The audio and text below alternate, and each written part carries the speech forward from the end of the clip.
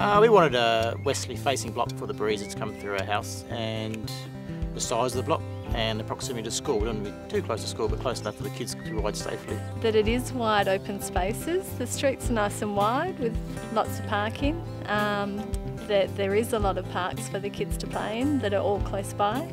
Um, there's lots of community events and they've all been fantastic just to get to know our neighbours. Um, there's other sort of events that the community itself has organised, like just the Halloween nights of the kids trick or treating, and the kids really enjoy that. So that's just done by the people who live here on their own back. So that's yeah, awesome. We always recommend Broome North just because of the community feel. Uh, it's not too busy, um, not too much traffic on the weekends, and all the playground and the, for the kids is great. So, so yeah, always say Broome North's well worth it. So. Mm, nice and quiet. Yeah. yeah.